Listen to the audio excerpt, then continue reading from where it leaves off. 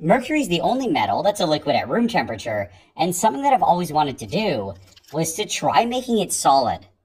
To do this, I just have to add some liquid nitrogen to a dish and wait for it all to cool down. Now, it looks like it's good to go, and I can pour in some of the mercury.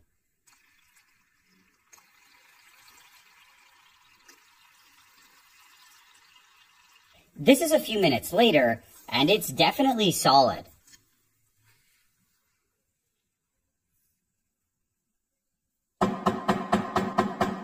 I really have no idea what to do with it though, and I think it might be cool to just melt it again.